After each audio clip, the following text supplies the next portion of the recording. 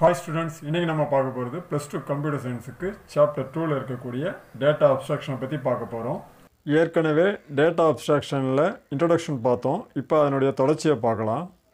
Data abstraction மூலம் ஒவ்வொரு கோடையும் ஒரு ஆப்ஜெக்டாக நம்ம உருவாக்க முடியும்.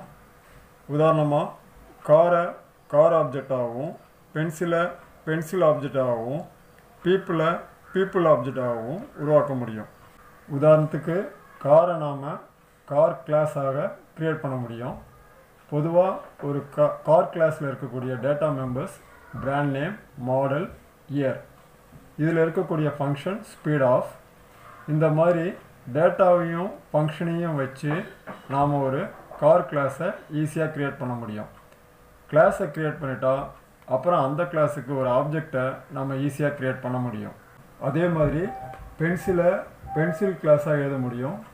பென்சில் கிளாஸில் பொதுவாக இருக்கக்கூடிய data members company name size colour இதில் இருக்கக்கூடிய ஃபங்க்ஷன் ட்ரா ஆஃப் இந்த பென்சில் கிளாஸுக்கும் நம்மளால் ஒரு ஆப்ஜெக்ட் க்ரியேட் பண்ண முடியும். மூணாவதாக பீப்புளுக்கு உதாரணமாக நாம் பேங்க் கஸ்டமர் கிளாஸ் எடுத்துக்கலாம். இதில் இருக்கக்கூடிய பொதுவான data members bank name branch account number இதில் இருக்கக்கூடிய ஃபங்க்ஷன்ஸ் டெபாசிட் ஆஃப் அப்புறம் வித்ட்ரா ஆஃப் இதுக்கும் நம்மளால் ஒரு ஆப்ஜெக்ட் க்ரியேட் பண்ண முடியும். இந்த மூணு கிளாஸ்லேயும் டேட்டா மெம்பர்ஸுக்கு நாம் ப்ரைவேட்னு கொடுப்போம். ஃபங்க்ஷனுக்கு பப்ளிக்னு கொடுப்போம். இதன் மூலம் நம்ம டேட்டா அப்ஸ்ட்ரக்ஷனை ஈஸியாக உருவாக்க முடியும். அடுத்தது ஒரு சாஃப்ட்வேர் கம்பெனி எடுத்துக்கலாம்.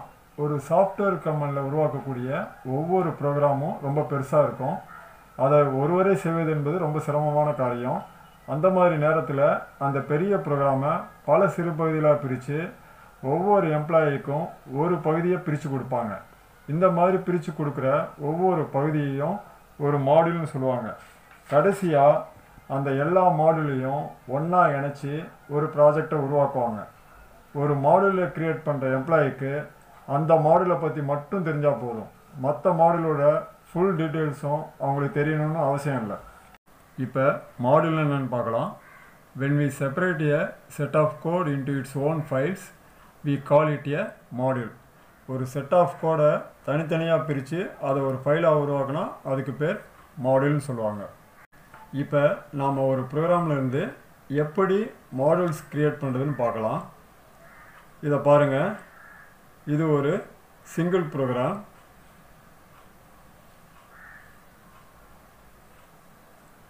இதிலிருந்து ஆட் ஆஃப் ஃபங்க்ஷனை பிரித்து நாம் ரெண்டு மாடியூல்ஸை க்ரியேட் பண்ண முடியும். ஃபார் எக்ஸாம்பிள் இதை பாருங்கள் இதில் ஒரு மாடியூல் பேர் வந்து ஆட் டாட் ஹெச் இன்னொரு மாடியூல் பேர் ஆட் டாட் சிபிபி ஃபஸ்ட்டு நாம் சி ப்ளஸ் ப்ளஸ் எடிட்டரில் இந்த கோடை டைப் பண்ணி அதை ஆட் டாட் ஹெச்னு சேவ் பண்ணணும்.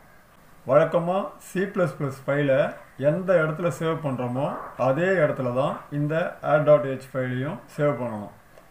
இந்த ஆட் டாட் ஹெச் ஃபைலை நாம் கம்பைல் பண்ண வேண்டிய அவசியம் இல்லை. ஜஸ்ட்டு சேவ் மட்டும் பண்ணால் போதுமானது. அடுத்தது இன்னொரு எம்டி ஃபைலை ஓப்பன் பண்ணி அதில் இந்த கோடிங்கை டைப் பண்ணணும். இதுக்கு பேர் ஆட் டாட் சிபிபின்னு கொடுத்து சேவ் பண்ணணும். இந்த ஃபைலில் தான் நாம் ஏற்கனவே கிரியேட் பண்ண ஆட் டாட் ஹெச் ஃபைலை இன்க்ளூட் பண்ணணும். அது மட்டும் இல்லை இந்த ஆட் டாட் ஹெச்சை டபுள் கோட்ஸுக்குள்ளே கொடுக்கணும். இப்போ இந்த ஆட் டாட் சிபிபி ஃபைலை நாம் கம்பைல் பண்ணி ரன் பண்ணால் நமக்கு நைன்கிற ரிசல்ட்டு அவுட்புட்டில் கிடைக்கும். ப்ரோக்ராம் பெருசாக இருக்கும்போது நம்ம இந்த மாதிரி நிறைய மாடியூல்ஸை தனித்தனியாக க்ரியேட் பண்ணி கடைசியில் அதை நம்ம ஒன்றா ஜாயின் பண்ணி ஒரு ப்ராஜெக்டாக உருவாக்க முடியும். இந்த வீடியோ உங்களுக்கு பிடிச்சிருந்தா என்னுடைய சேனலை சப்ஸ்கிரைப் பண்ணுங்கள் கூடவே பக்கத்தில் இருக்க பெல் ஐக்கானை கிளிக் பண்ணுங்கள் பை பை சி யூ